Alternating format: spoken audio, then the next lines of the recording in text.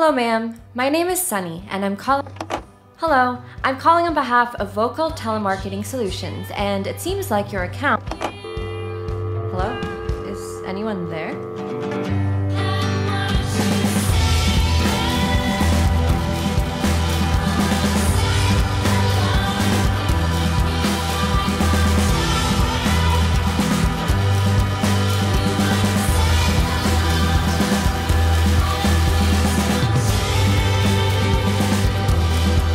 Hi, I'm sorry. Have you seen a little girl around here?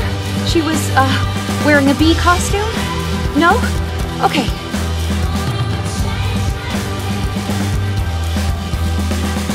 I've been sitting at this desk for eight hours a day for years. Wow, it's been years. I remember when my days were filled with whatever I wanted to fill them with. When I was a kid,